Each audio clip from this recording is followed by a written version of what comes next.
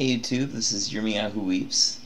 Um, this is gonna be really kind of randomy, but um, this is uh, a little bit of a self-help therapy video for me. So I need to put things in perspective because um, okay, if you have like things that you regret and that you're not happy with life, and if life has not gone the way you wanted wanted it to go or to be and things look like a mess and things just look horrible and everything looks um,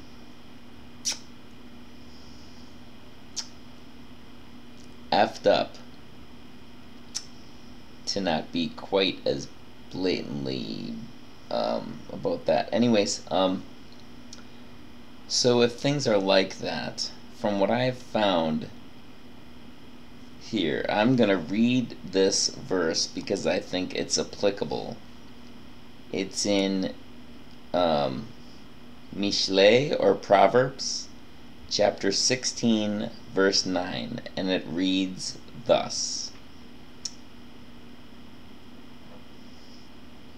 The heart of a man, or the mind of a man or person, plans his course or his way, the way he's going to go in life. But Yahweh directs his steps or establishes his steps. So, my understanding of that verse is a person plans how their life is going to go. They plan how things are going to go in life. But it's Yahweh who directs his steps. It's Yahweh who decides what's going to happen. Yahweh determines what's going to happen in your life. So, if you're not happy about life, where things seem messed up.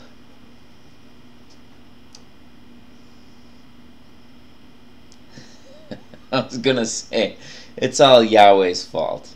Now, in a way, that's true, but in another way, it doesn't make any sense because everything that Yahweh does is for good. So if He's having your life go a certain way and you feel like it's a mess and you feel like it's not good and you feel like it's catastrophic or if you have regrets or anything, you can know that your life has gone the way it has and the way it's going because Yahweh has purposed it to be that way. Yahweh's purposed it. He, he's directed your steps. He's planned your course. So you may have plans for how you want life to be, but Yahweh's the one who decides. And since that's the case, then you have to look at Yahweh and is he trustworthy and reliable to be doing you good even in the midst of not being okay and having having regrets or life feeling like a life is catastrophic or um, feeling like things aren't okay and haven't been okay and whatever. So you have to look at whether or not he's good. And if you look through the rest of the scriptures and you look at reality, um, at least for me, I find that he is good. He is actually good. He is actually loving. He is actually kind. And I believe that Scripture has reassurances over and over again of this fact um, that he's good and loving and kind. I think there's a reason why he says, trust me, numerous times. Trust me, and why what people call belief or faith, but was which is actually more adequately, um, more, uh, what's the word I want to use? Accurately translated as trust why that's lifted up so much and it's so that's it's such an important thing that trust because we're going through things that are difficult. Now there's um, oh man, multiple verses, but I mean there's the thing with Yoshua. Now Yoshua completely trusted Yahweh. But look at what he had to go through. He was tortured to death. Tortured to death. After like living a really upright life and doing everything Yahweh wanted him to do and like doing good to people left and right all over the place, he was tortured to death. I don't know how he held up under that, but he did. I mean, it was Yahweh's power in him, Yahweh's ruach, Yahweh's power, his spirit, his breath, his character, his his, his power doing it. But um, but then there's other places where um, I think it's Avin Peter talking about don't be surprised if you're coming under trials. Don't be surprised at the trials and adversities that you have to endure. It's it's not a surprise. It's something that we can expect. Yeshua said, "Don't be surprised when they persecute you. If they did it to me, they're going to do it to you." So none of this stuff is a surprise. There's other places where it talks about um, that we're to be bearing up under pressure and that pressure is like the kind of pressure that like they would take a rock a heavy rock and place it on somebody's chest that would make it difficult for them to even breathe. It would feel crushing to them. And that's the term that's used for that pressure that we have is this crushing agonizing pressure. Um, and it talks about like the fiery trials we have you know? So I hope you don't mind. I'm not going to bring up the um, verse quotes right now. You know, I don't have those handy, but it's there if you need me to comment, and I, I'll I'll look them up for you. But it's there. But that's that's what we have. Now, does any of that nullify the goodness of Yahweh? Does any of it mean that he's not trustworthy? Um, which is something I've really struggled with. But I don't believe so. Because it's for a purpose. Um, I mean, it's the same kind of thing, even though it's a lot more extreme example. It's the same kind of thing as when a little kid is learning to walk and their parents saying, Come to me, come to me. And they start they get up off the ground for the first time and they're amazed because they're actually walking and they start walking to the parent and then boom down on the floor they go. And looking at that from an adult perspective, I think in response to the parent, I'm thinking, how could you do this to me, you betrayer? You wanted me to walk to you. I was all excited to walk. I actually got up off the floor for the first time. I started walking and down I go. You betrayer. How could you do that to me? That's my perspective.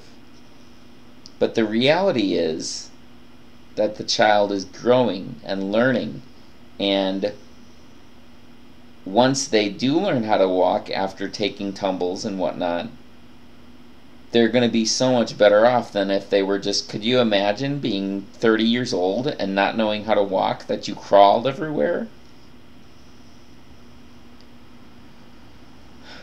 So there's these necessary processes that we have to go through. And of course, our processes are much more extreme than just learning to walk, but I think it's a similar concept.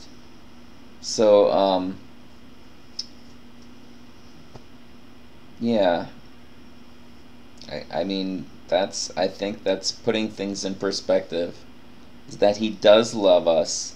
I mean, he, I think he so much loves us like reading scripture and that the very second verse of scripture talks about the ruach of, of the ruach of Elohim, the Yahweh, um, is rapidly hovering over the waters. I believe he's excited because he's going to make his children. And it's like a nursery. He's getting everything ready. He sets up the sun, moon, and stars. He sets up the earth. He sets up the plants. He he gives the animals so people have pets, so they have little pets to play with. He makes all the animals. And then as his crowning as his crowning achievement, the best thing, he makes us. That's his pride and joy. His crowning achievement is making humanity.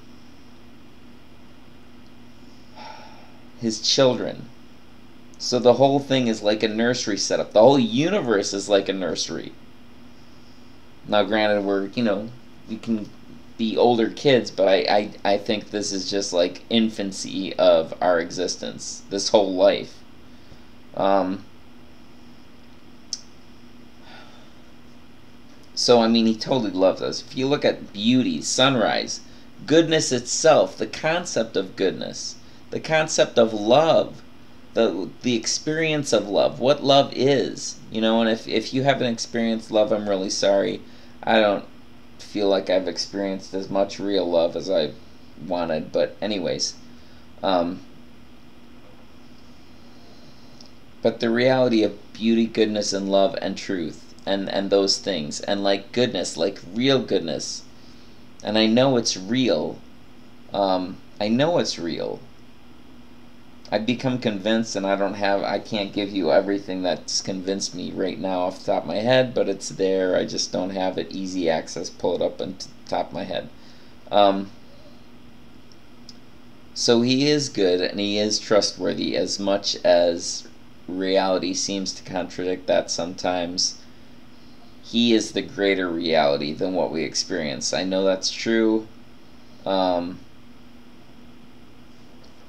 so even when things look like a mess, or even when you feel like either you're messing things up too much, or things are being messed up for you too much in life, life is going wrong, um, if you're not the way you want to be, if your life is not the way you want to be, want it to be, um, if you've done wrong, um, anything, anything. It's because that's the way Yahweh has purposed it to be. But He's going to bring you through it. He's going to bring me through it.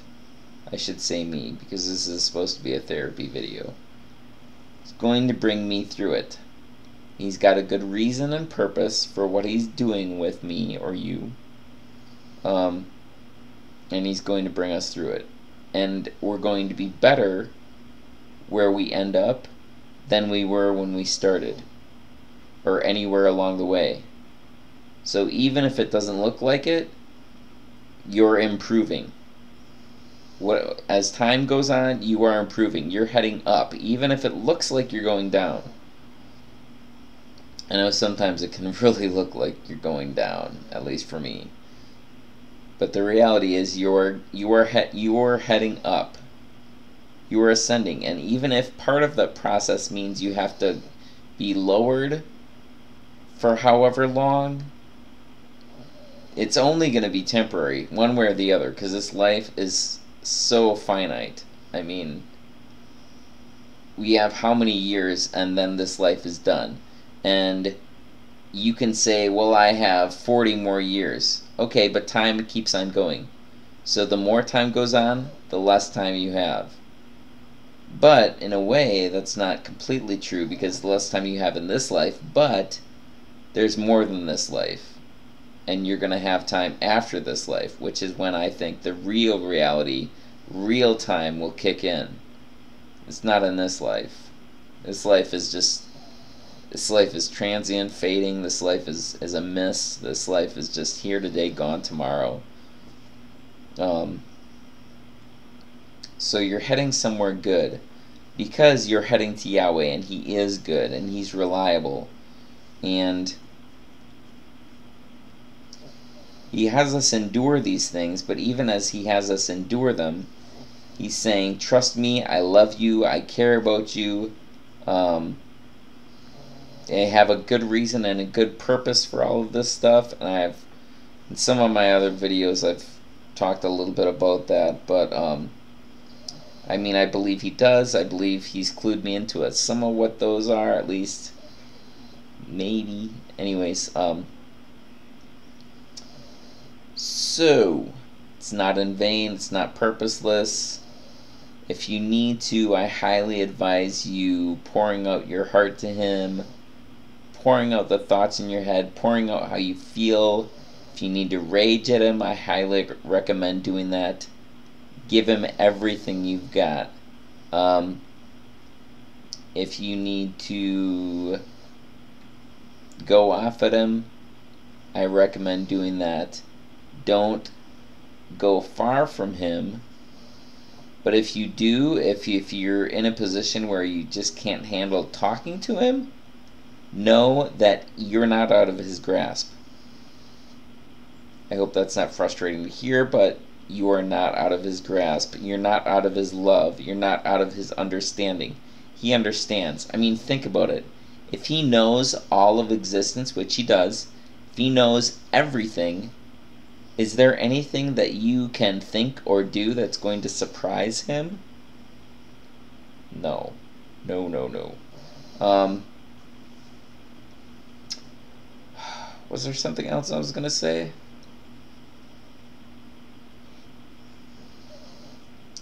I don't know, but mostly know that he loves you. He will not stop loving you. Now, of course, um, he might have to discipline you if you're doing something wrong, particularly if you're um, if you know better or if you're purposefully doing wrong.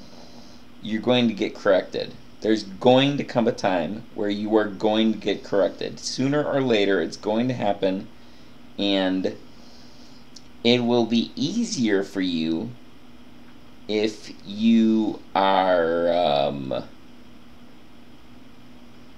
doing right and going alongside with what he wants. Because what he wants really is is a loving relationship with you and him and with you and other people. That's that's what he wants. He wants he wants you to do right he wants other people to do right by you and he wants you to do right by other people now he's put us in this position where we have to grow and where we have difficulties that we have to encounter, and it's all about growth, I think.